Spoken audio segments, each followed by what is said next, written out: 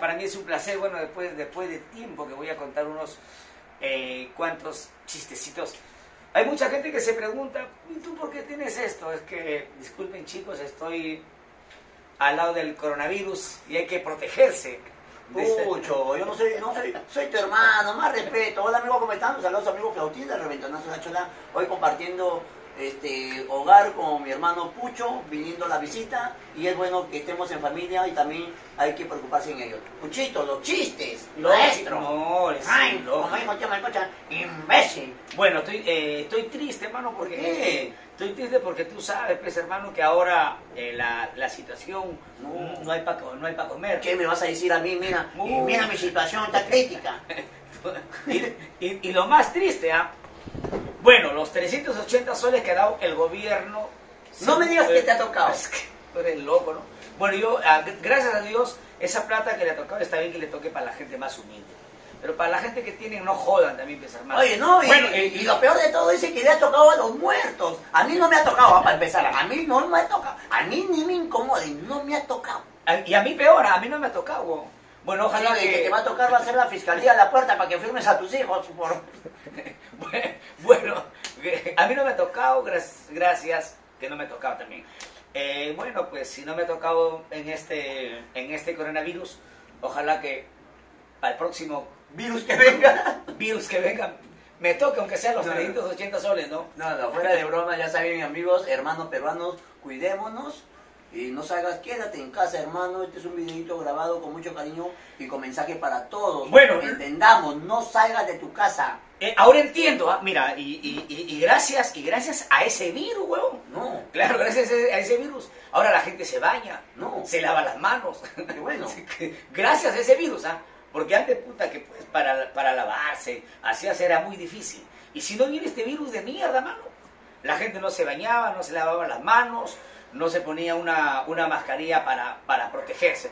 Pero yo creo que este, este mm, para mí, ah, para mí no es, no es, no es una, ah, disculpen, no sé, no se molesten, tampoco estoy, bueno, es mi opinión.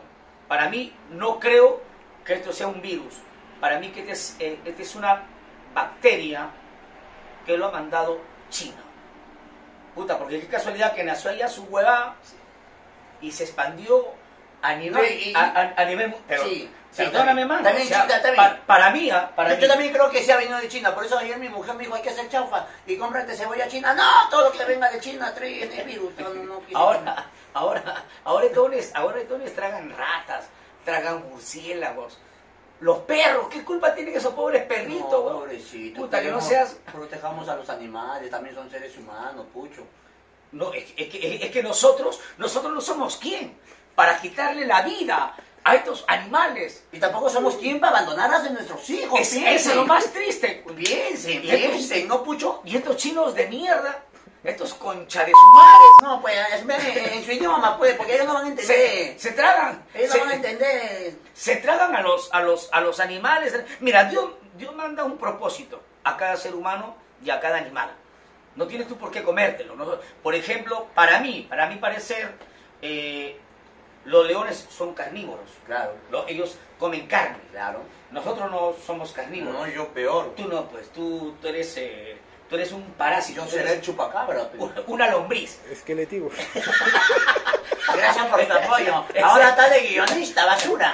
Y no, y le dice... y la- Y, y- y- y lo peor de todo, Pucho, que tú has dicho algo bien cierto, esto viene de China. ¿Y, y tú sabes cuál es el nombre de- de- del, del chino que, que in- inició todo esto? no sé, weón. ¿cuál No, es? y tú sabes que los chinos son medio raros para ponerse nombre, ¿ah? Ah, no. ajá. Dice que los chinos para ponerse nombre, ellos no se llaman que Jorge, que, que Pucho, que Flauta, nada, que Eduardo, que Luis. No, no, dicen que los chinos para ponerse nombre, dice que el papá chino se para en, en escalera y tira una tapa de olla por toda la escalera y como va sonando la tapa, así le pone a su hijo.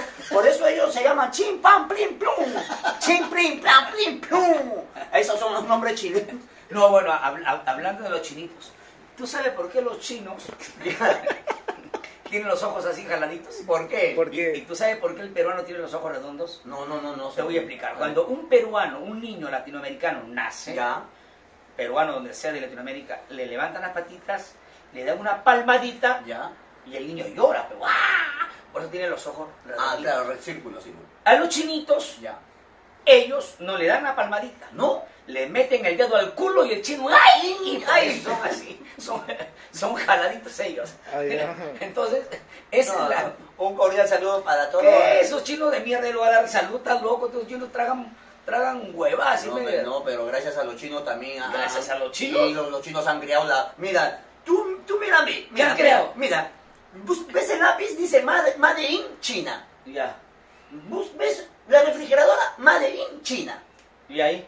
Un pollo, Made in China. Zapatillas, Made in China. El virus vino de Made in China. Todo viene de China. Ya, o sea, o, o- sea, nosotros tenemos el mejor al- algodón por las huevas, entonces. No, no, Ah. yo no estoy hablando de la textilería. No, Si me estás hablando de un polo, si me estás hablando de un Nos vamos a hablar de, no, tex- de- de- de- No, vamos a hablar de textilería. A mí no me vas a hay, que, hay que hablar de los abogados también para ver los juicios. No, no, es que, es que tú no me puedes hablar, pues, Perú, Perú es la primera potencia. Ah, eso sí. En el mejor algodón, la mejor comida. Nosotros tenemos todo. No solamente Nosotros, escúchame, pe, concha de tu madre. No. Nosotros tenemos la materia prima. Es así, a, nosotros lo que nos falta, Ya. lo que nos falta son las máquinas para poder procesarla Ya. y hacer algo. Si nosotros tuviéramos esas máquinas que los, nos- los chinos no lo tienen, los tienen Ya. los americanos, eh, países muy desarrollados, Europeos. europeos o de donde sea, entonces, si tuviéramos esas máquinas especiales, haríamos. Y no es necesario, carajo, exportar el mejor algodón que tiene Nuestros el, productos. el Perú. O sea, no Ya, es, no es necesario eh, eh, los mariscos, puta, los pescados. Puta, ¿qué sorpre- qué- Este hueón, por ejemplo, mi mamá no le daba de tragar, Ah, porque no, no le gustaba comer. Mira cómo mierda está, pura quijada. Parece un faraón, Rancés. Mira, mira, mira, mira.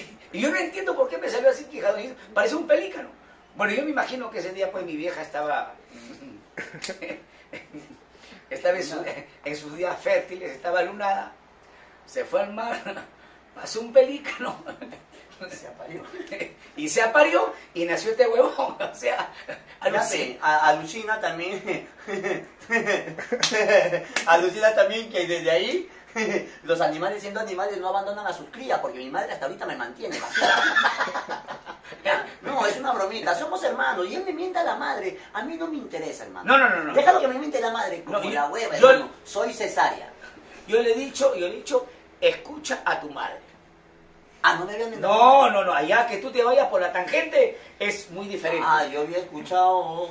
Bueno, solamente hacerle recordar a, a todos eh, los peruanos que estamos viviendo eh, un momento crítico, pero a la vez también eh, poner reflexión, más que todo, ¿no? Porque hay gente que quizás muchos no hacemos caso. Acá no se le echa la culpa al gobierno.